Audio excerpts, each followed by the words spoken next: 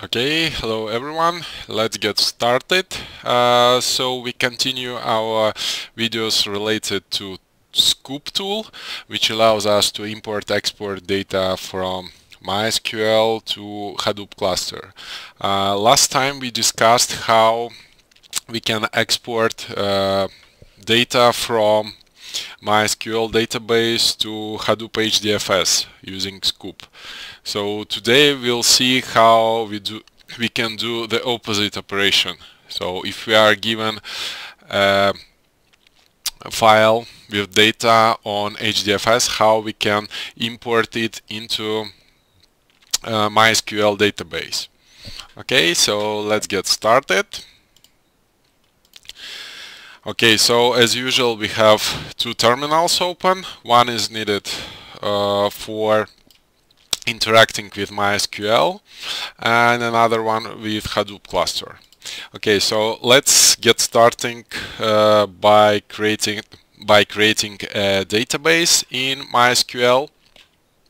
Okay, this is done by executing command create database and database name. Okay, let's call it testdb. Okay, so once again, for those who are not familiar with uh, SQL. We are now preparing a series of videos related to that so very soon it should be available on our channel so don't forget to subscribe to our channel don't forget to subscribe to our website where we post uh, useful articles related to big data. So just a reminder blog.dataguru.guide okay? So we have created our database. Now let's create a, a table. So first of all we say that we should use this test DB. okay and now let's create a table. Uh, let's call it test1 and uh, let's create a table which consists of uh, two columns just for simplicity Okay, so the first one, let's call it test int column, which will contain integer, and the second one will be a test text column with uh, type varchar. So it's just an analog of of string. Okay. Okay. Let's verify show tables okay and describe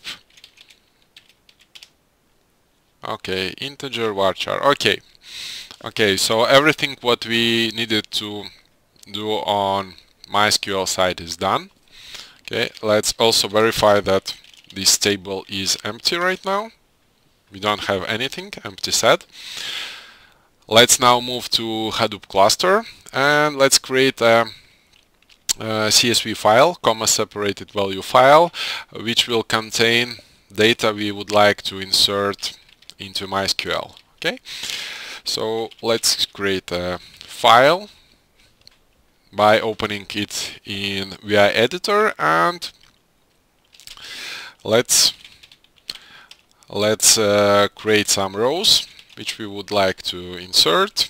Okay, let's Let's do as follows. So we have uh, three rows of data. So the first one is integer. So like we defined in our table. And the, the second one is text. Okay.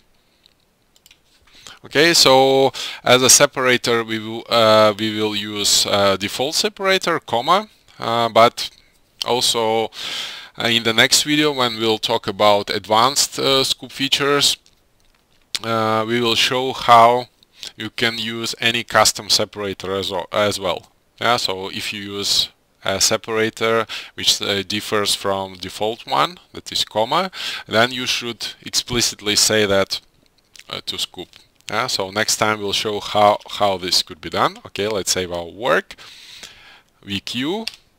Okay, let's let's verify. Okay, yeah, we have this file and as it was created in a local file system. Now let's move it to to HDFS. Let's first create a, a folder on HDFS where we will store this file. So we'll use some HDFS commands now. If you haven't seen our previous videos related to HDFS, how we navigate it, so that's the right time to do that. Okay, mkdir, and let's say export folder. Okay, let's create it. Okay, it, it could take a while. and once it is done let's move our file to that newly created HDFS folder. Okay. Okay. It should be there okay and let's verify that indeed it's there HDFS cut and file CSV. Okay, so in this command we both verify that this file is in HDFS and the content is exactly as we defined, right? Let's see. Okay, exactly the same. Okay, so now let's let's write a Sqoop command which will allow to export the content of this HDFS uh, HDFS file to our uh, MySQL table okay? So Sqoop as previously but now we use export subcommand saying that we are not going to import data from from MySQL to HDFS but export data from HDFS to MySQL. Okay, connect. Let's define a server. So we are using Java database connector. Uh, protocol is MySQL. Okay, so the server address as such is localhost and after address we should define our database. Okay, so the database name was testdb. Testdb. Okay so the username was root. Password as always for all tools on Cloudera VM is Cloudera. Cloudera. Okay now let's define a table in which we want to export it was test1 okay test1 now we should define where Sqoop should take data from. Okay, it was uh, user Cloudera export folder. Okay, so if we don't specify any specific file like file CSV, it means that Sqoop will take all files which are stored under this directory. So let's do like this. And as previously we will use only one stream to export data. So in the next video when we'll discuss advanced uh, Sqoop options we'll talk about parallelizing import or export but for now let's do that using only one stream. Okay so we are actually ready to export data. Okay so once again table is absolutely clear.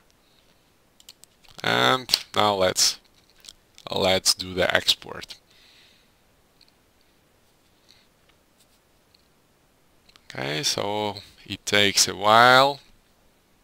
Okay so just a reminder that Sqoop reminds that using password in a clear way, specifying it like we did is not the best practice. So next time we'll see how we can operate using this uh, minus p option.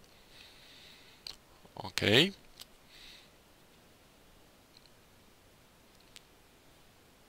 so it's about to start the export. Okay so as you see yeah number of splits is exactly the same as we specified.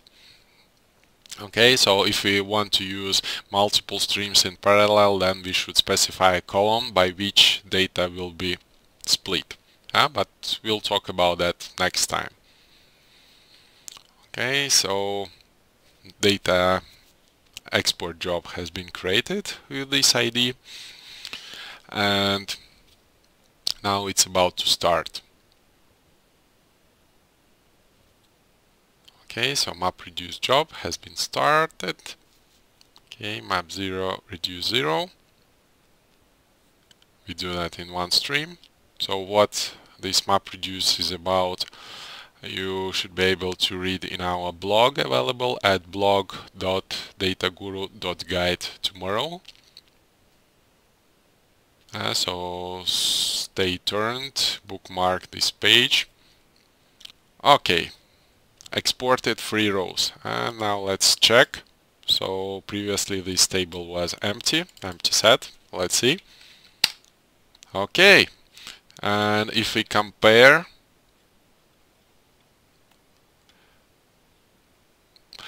if we compare the content of our file to what we have in the table that's exactly what we had.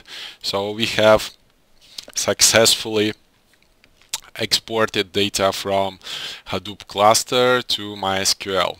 So that's a great success. Uh, so for today that would be all.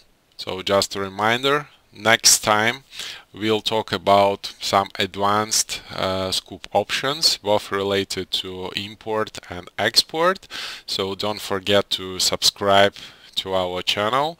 So if you have done if you have not done that previously if you still have any questions feel free to post any comments otherwise thanks for uh, to all for watching and see you next time. Bye bye